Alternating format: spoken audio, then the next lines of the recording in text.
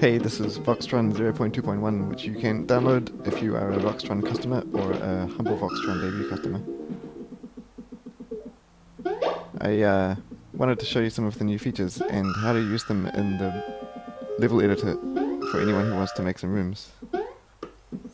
This level is Twisty Castle, which you can get from the BBS, and it demonstrates a lot of the new stuff, so you can you can uh, download it and have a look to see how it works. I gotta take care of these guys. I can't play and talk at the same time. Yeah, this version has um, two-way doors, so you can you can have freely explorable levels rather than the linear ones in the version before. And there was a there was a one-way door, so you can you can set up little kind of sub rooms or maps or whatever.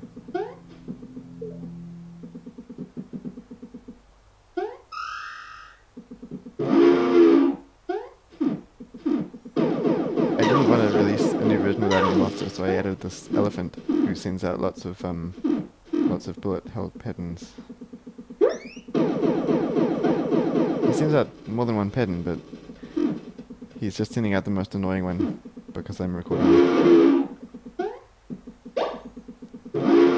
Alright, let's uh, let's design some stuff.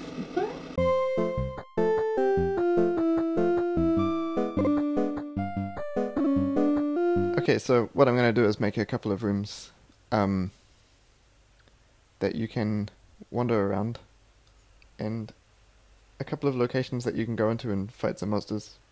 And then when you've finished the two locations, a uh, an extra location will pop up which has a boss in it. So first of all, I'll make a couple of rooms that you can walk between. So this is kind of like the map area. And, you know, usually you wouldn't have monsters in the map or something like that. Um, I'll put a starting position. The the starting actor, like the player actor, it has a parameter called from room, and uh, you can use it to indicate which room you're coming from for it to use that starting actor because you can have more than one starting actor in the room.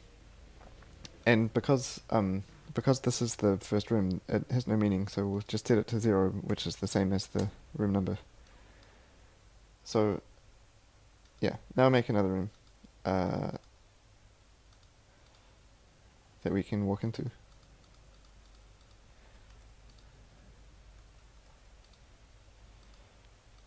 Da, da, da, I don't know what this is.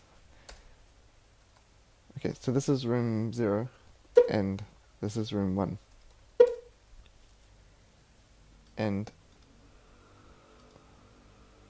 I'll put a couple of archways in. Whoops.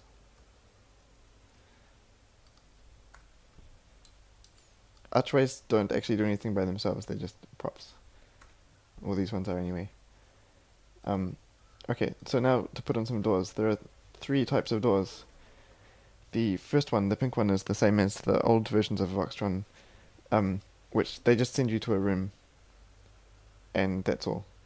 The the green ones are two-way doors, which you can use in use in pairs, and they uh, if you use two green doors, you don't need to specify the um, the start the uh, starting location of the receiving room because it's implicit by the fact that it's a two-way door.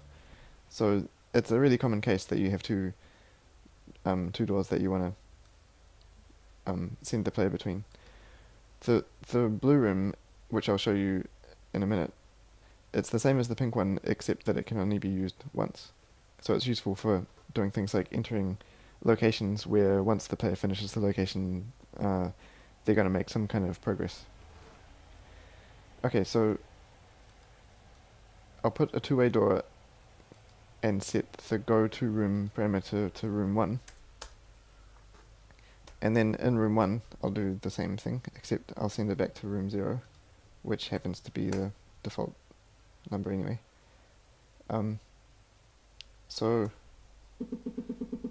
okay, so now we have a two-way door. So, let's put some locations into room 1. And I'll use the blue doors for this.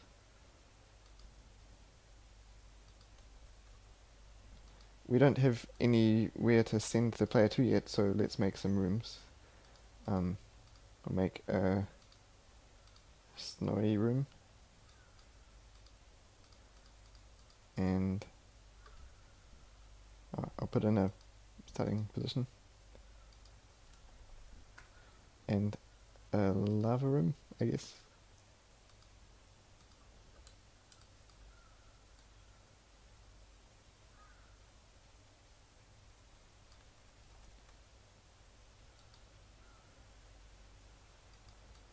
use the cursor keys to fine tune the position. Um, yeah, you need to start the player somewhere safe in a lava room, otherwise they'll just die as soon as the level starts. Okay, so now this door sends us to... Oh, no it doesn't. Okay, so this door is going to go to room 2 and this is going to go to room 3. Um, okay, so this is room 2. Let's put some monsters in, some tiny one, and we need somewhere to get back, so I'll just put a regular door in, um, which goes back to room 1, and it appears when there are no monsters left, so I use the no mon trigger. Oops, I wanted snow. Yeah, that's better. And I'll do the same for um, this lava room. Put in a red grunt and a door that appears when there are no monsters left. And it goes back to room 1. Uh, the other thing you need is, so when we send the player back, we want to specify um, where the player is sent back to. So this is where the from room parameter on the uh, player actor is useful because uh, so this this door sends us to room two, so we can say we want to be sent back to this point when we come back, and the same for coming back from room three. So.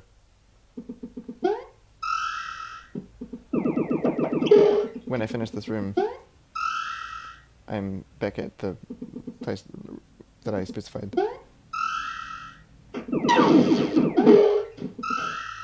Okay, good. Um, so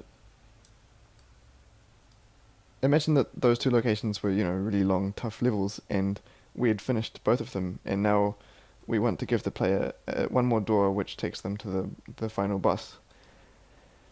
Um, to do this, we can use a normal door um, it could be any kind of door, but usually it's a normal door. Um, and we'll send them to room 4. We haven't made the room yet. I'll quickly make it. Okay, so this is the boss, the room. Uh, I'll make it look bossy. And put in a couple of triox and maybe uh, yeah I'll start the player off on the left hand side seeing as we entered from the right and same deal I'll I'll put an exit in which finishes the level when there's no monsters left. So no mon. Okay.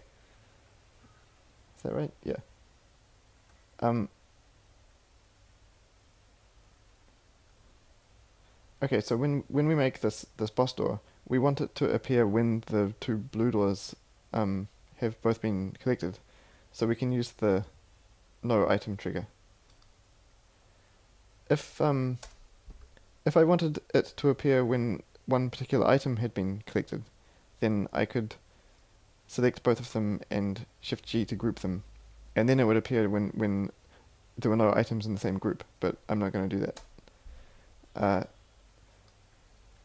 you don't have to just use blue doors for this as well. You can use um, yeah. I'll, I'll just digress for a second. So at the moment, the Voxatron engine still can't handle permanence. If you um, if you change a room and then come back, it resets. So it's it's true as well for collecting objects. You know, I can I can collect these apples as many times as I want. Um, so what you can do is, on items that you only want to appear once, you can select the collect once field and uh, enter one. And it will remember just for those items. So it's it's kind of the same as um, blue doors. So when you use the no item trigger, it also applies to these um, regular items which have the collect once thing turned on to one. So you can use it for things like if you look at uh, Twisty Castle, there's a room with um, there's a room with three keys, and when you collect the keys, it creates sections of the bridge, and that's uh, that's how that works. Okay, so now we have um, this this door, which is also triggered when there's no blue doors left. Uh, and yeah, that should look like a whole level. So let's try it out.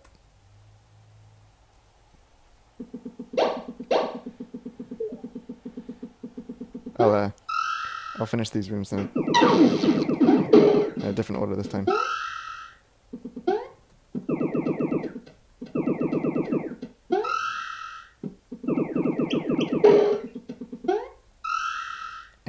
Now we get the boss door. And some Triox.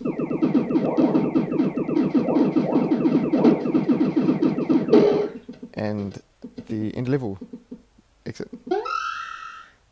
Ah, okay. So to specify that it's the end level exit, we need to go to room negative one.